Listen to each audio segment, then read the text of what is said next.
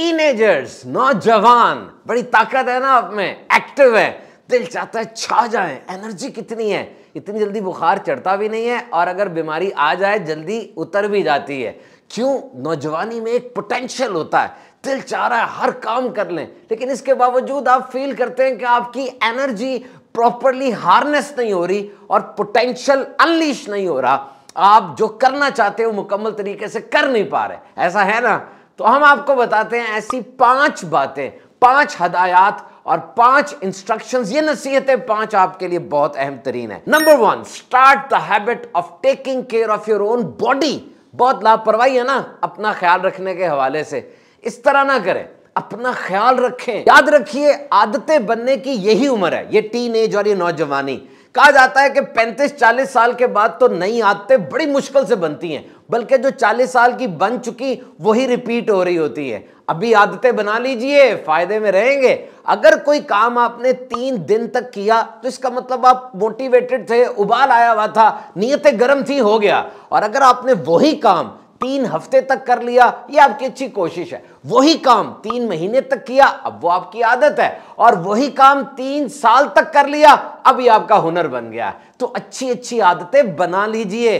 Start taking yourself my teen नौजवानों, ये जो आपके वालदेन और बड़े कहते हैं न्यूट्रिशन ठीक करो, सो वक्त पे सब्ज़ियाँ खाओ, फल खाओ, ये सब सही कहते हैं। यकीन कीजिए, तजर्बा करके देख लें, जब आप ये सब काम करेंगे ना you will feel better you will feel more confident you will feel fit और फिर यही तो एक जिसम है जिसमें हमने रहना है, और तो कोई जगह नहीं है। वक्त गुजरता चला जाएगा, ये सारे पार्ट्स इस्तेमाल होके हल्के हल्के घिसते जाएँगे। तो बुढ़ापे में अगर कोई बीमारी आ भी गई जिसम मज़बूत होगा, अच्छे तरीके से मुकाबला कर लेंगे। और जितने भी चैलेंजेस ज़िंदगी में आ रहे हैं, उनका मुकाबला करना ज़्यादा सहल और आसान हो जाएगा। Number two life is not a sprint life is a marathon race marathon race वो होती है माई टीनेजर्स जो कि 42 किलोमीटर लंबी होती है। और स्प्रिंट 100 मीटर। अट्ठावन सेकंड 60 सेकंड में खत्म। नहीं जी लाइफ मैराथन रेस है।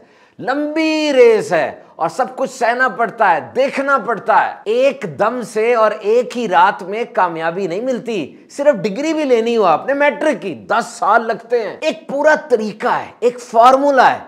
There is a procedural act पूरा प्रोसीजर होता है, तब कोई चीज़ मिलती है। याद रखिएगा जो शॉर्टकट का लफज आ गया ना नौजवानों में और टीन के अंदर, ये ठीक नहीं है।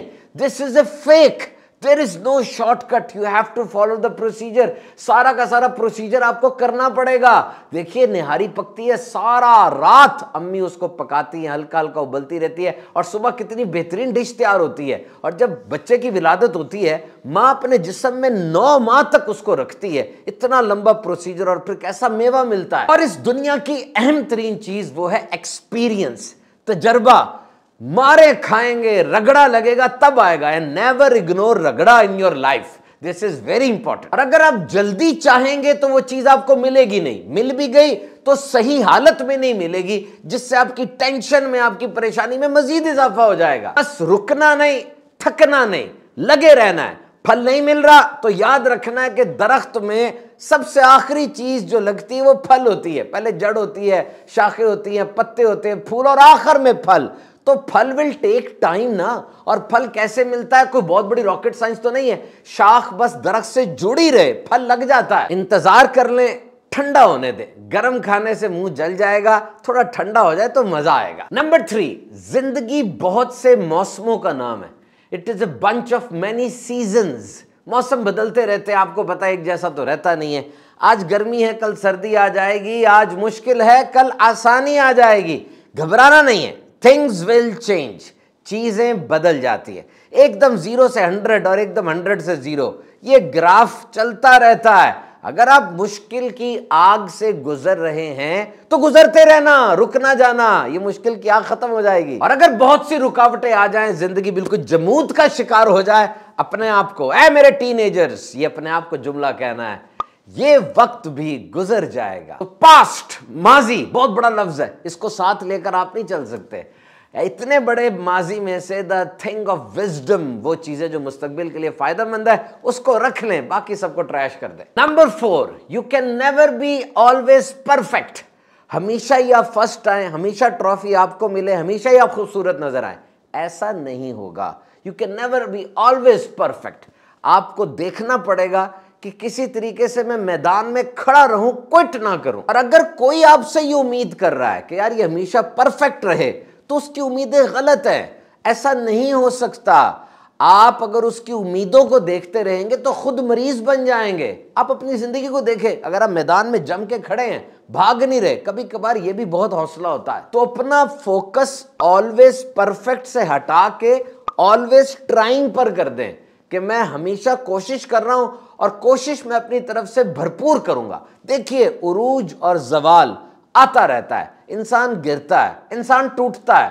बस जब आप गिर जाएँ, गिरे रहना नहीं है, खड़े हो जाना है। और जब टूट जाएँ, टूटे रहना नहीं है, खुद अपने आप को जोड़ लेना है। Number five you can face rejection rejection possibility is always there जिस जगह आप जाना चाहते हैं, जो नौकरी आप करना चाहते हैं, जिस इंसान को आप पसंद करते हैं वहाँ से रिजेक्शन हो सकती है। इसके लिए जहनी तौर पे तैयार रहें।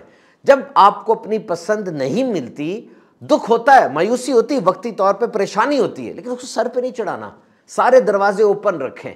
आपने दरवाज़ा ही एक रखा और वो दरवाज़ा धड़म करके बंद हो गया, आप खटखटाते जा रहे हैं और वो खुल नहीं रहा, अब तो परेशानी होगी। क्यों आपने एक दरवाज़ा रखा था? मल्टीपल चॉइस होनी चाहिए। जब ऐसा हो जाए टेक पॉज रुक जाए। एक कदम पीछे हो जाए कभी कभार एक कदम आगे बढ़ाने के लिए दस कदम भी पीछे होना पड़ता है।